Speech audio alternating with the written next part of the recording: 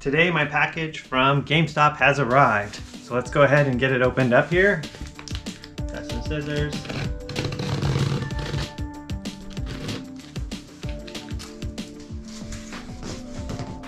So this is the AT Legends Gamer Pro. So I'm gonna go ahead and open it up and then get it set up and connected to the TV. In addition, after getting it set up, um, I'm gonna play some games on it and then I might see what other capabilities. I know you can actually load new games to it.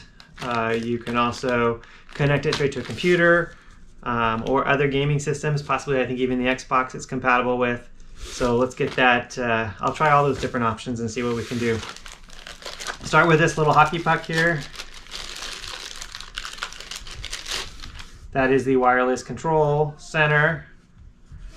And then the cables to connect that up. Actually, I'm also guessing that this is not charged or has very low charge to it, so I may have to actually plug it in. Ooh, that's heavy and charge it before I can actually use it for the first time. Let's take a look here. Get this opened up. It's nice.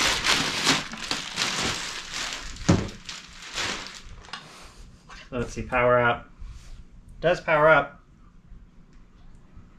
It looks like it's trying to connect, but that isn't uh, not connected. I don't know what the power level is.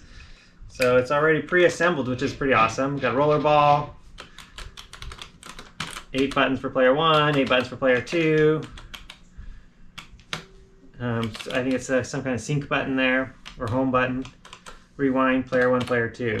Pointing buttons, as well as on the side, I've got pinball buttons. Um, it does look like not really any screws to open it up to actually see what's on the inside of it.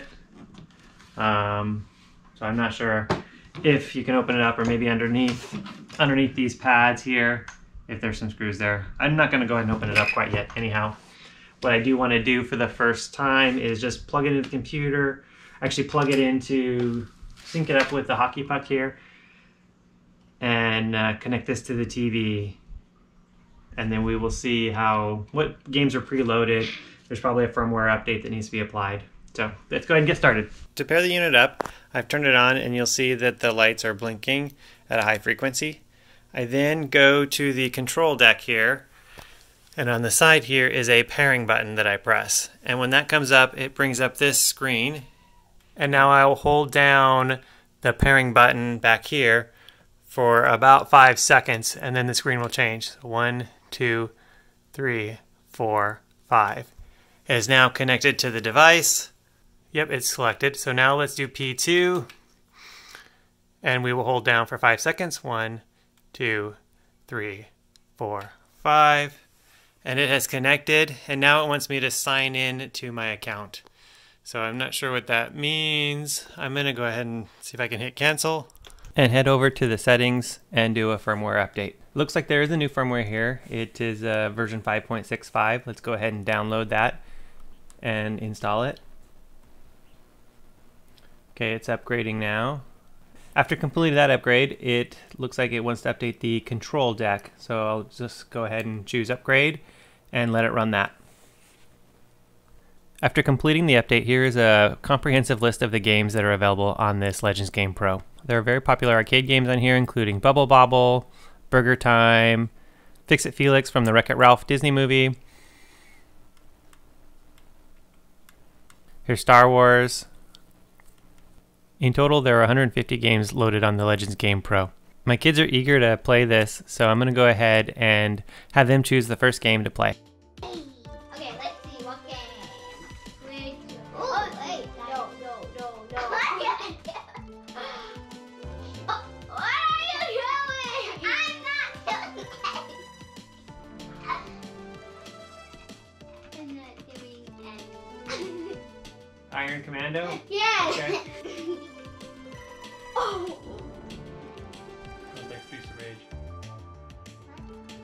Work together, you punch other people. How do we play? Who am I? Ah!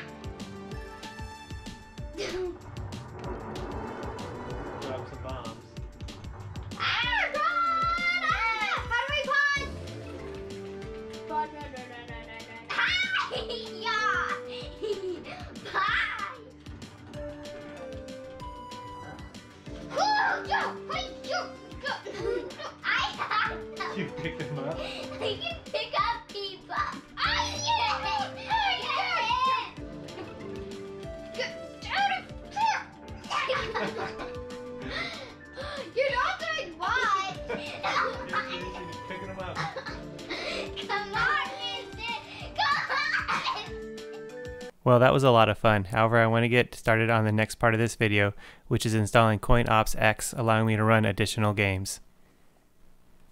Getting started, I went ahead and purchased a 128 gigabyte USB card from a local big box store.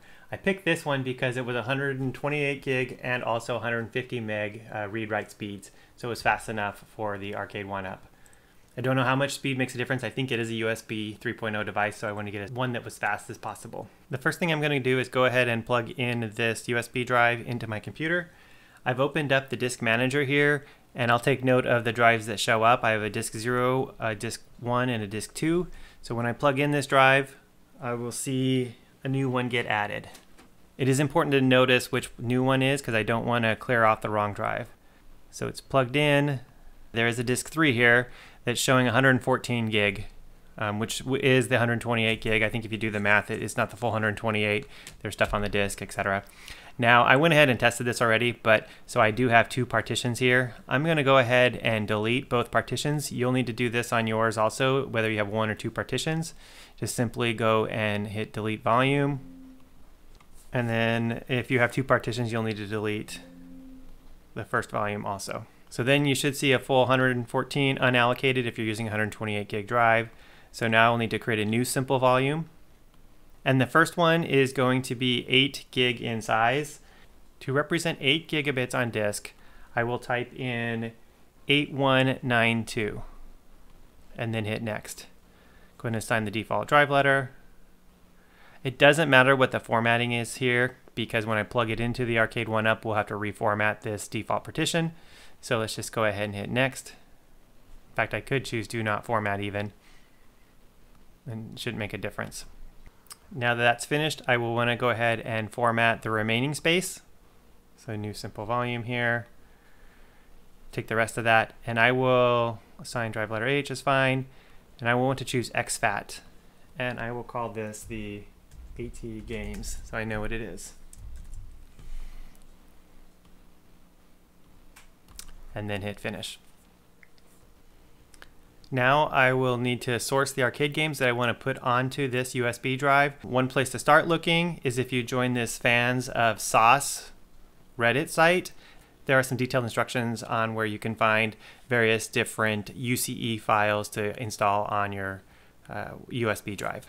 After sourcing the arcade games and formatting the drive, the next thing I want to do is go ahead and copy those games to this drive. So I have my at games drive opened and I am going to bring over the arcade folder and the content folder and let those copy to the drive here. This takes a little while. It says it's calculating. It says about 20 minutes now. So I'll go ahead and let this finish and I'll come back in about 20 minutes.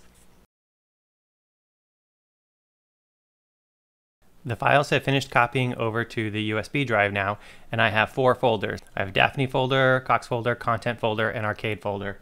In the arcade folder, there are 1,726 games in here everything from 1942. Uh, there's maze games like Pac-Man. A lot of games in here. If I go back up one level, there's also a Daphne folder, which has some other games such as Dragon's Lair, Dragon's Lair 1 and 2. Now, having all the games in one folder really isn't useful for me to navigate through. I like to actually organize them into a playlist. So what I've done is I can download a CoinOps arcade playlist that I have uploaded into GitHub. I'll download this arcade playlist.zip file. I'll provide the link in the description below. And I'm just going to save that straight to the folder here on the uh, USB drive. Let's go ahead and unzip that folder.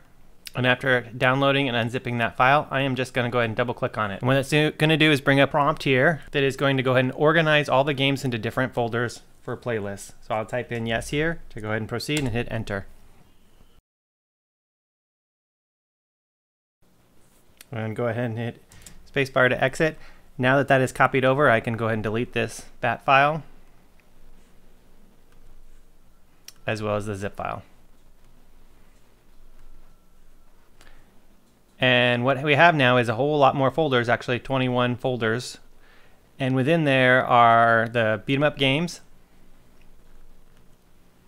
board games, breakout games, you got maze games like Pac-Man. I will go ahead and show you what those games are when I load them onto the arcade. After creating all the folders and the games, I now need to set up the USB drive for the arcade system. So what I will do is go to the AtGames website here, and I'll put a link in the description below, and download this Add-on X tool and install it. After installing the Add-on X tool, I will go ahead and double click on the icon to run the program, then click choose, and I will choose the AtGames H drive here and click OK, and then click the build folder. Now this is really important to do as this sets up and it scans the entire USB drive and sets up the index so that the arcade device knows how to load these games. So this is going to take a while, so I'll go ahead and let this run.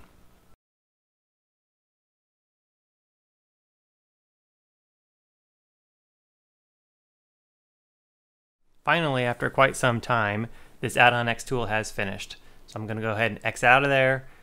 And then the last thing I will want to do is go ahead and close the folder here and eject the USB drive. I've unplugged my USB drive and I'm going to go over to my arcade puck and go ahead and plug it in. Okay, with the device plugged in and I have my Arcade Legends Gamer Bluetooth synced up. So the first thing I will want to do is go ahead and go over to settings and set up my USB drive. And then choose flash drive X. Just come down here, choose format, and it's going to say you sure you want to, and let's go ahead and click yes. Okay, that has formatted. Let's go ahead and then choose mount. We will go ahead and mount. And that has completed. So let's go ahead and go back.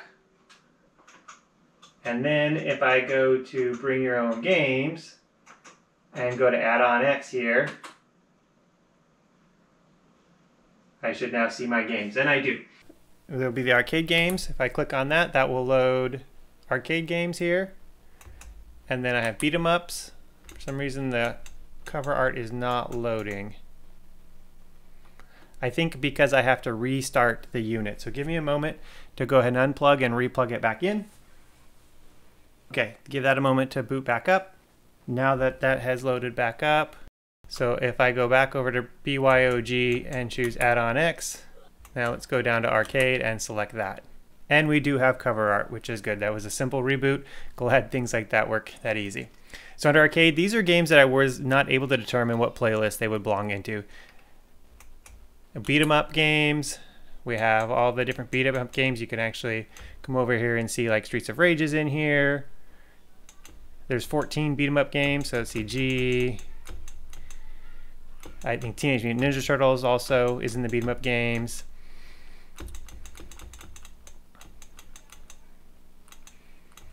RoboCop.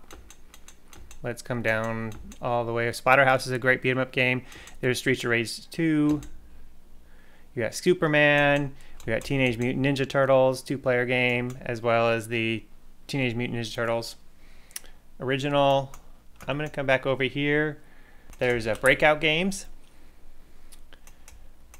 Under maze games, you'll find all the Pac-Man games and any other games that are related to that. Just platform games. But what I, most of these are categories, but what I wanted to call out is if I come down here to trackball and twin stick. Now these games are based on the input type. And so although we have sports games up here, er, what I did was go ahead and categorize games like Golden Tee in here because it actually runs off the trackball, has a, a different type of input. So if you, let's first, here's the different Golden Tee games. So those are all under the trackball and not the sports.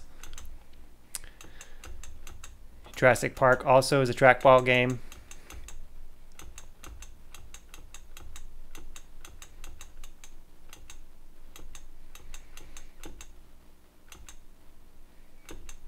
And here is Sega Sonic, which is a trackball game. I'm going to go ahead and start that one up, and let's see how that plays.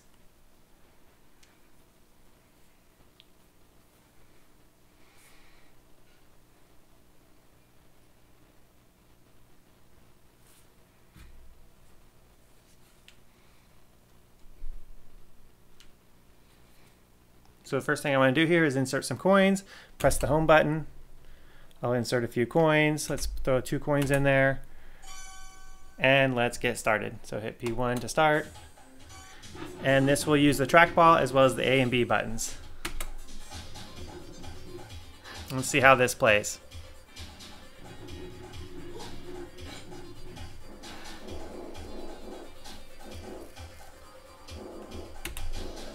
So jump and spin and break through these.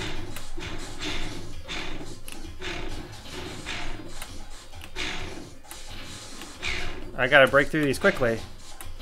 I wonder if this... I'm gonna die here soon if I don't get through these. There it goes, now I'm breaking through. Let's come all the way up here and get through. Okay, I am through that. Oh, let's come up here and run through that. Uh, we have also twin stick games. Now, twin stick games are going to take use of both sticks here. It's a single player game, but I have to use both. So you're going to have games like uh, Smash TV in here. So let's scroll over to Smash TV.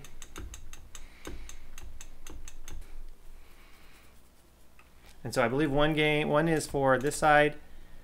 Okay, it says info save, load, rewind functions are not going to work with this game. That's okay.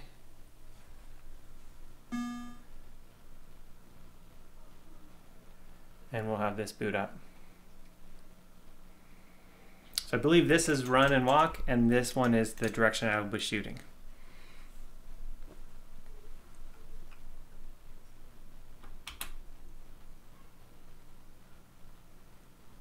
Okay, let's go ahead and hit, put some coins in. Bingo! And then we'll click P1 to start.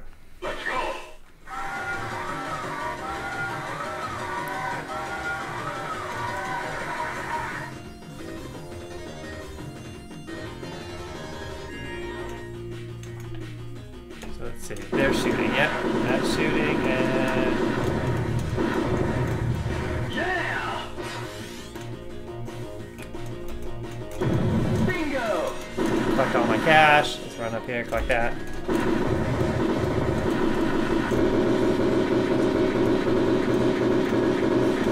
Oh, this game is so much fun.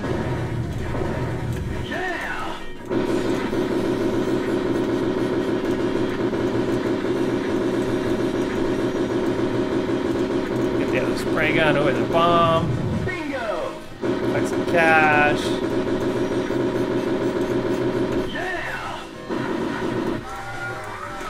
Let's exit. Let me know your thoughts in the comments. Do you have one of these Legends Arcade controllers? Uh, have you installed custom games on them? What is your experience with them? Um, I personally am really impressed with it. I'm going to get a lot of hours playing on this. I did create the script to organize the files into folders. I found it very useful for me and I wanted to share it with everyone else. So let me know your thoughts. If you like the way that the files are organized, I am, you can go ahead and post in the comments or also post a pull request against that GitHub repo for any changes that you'd like to see.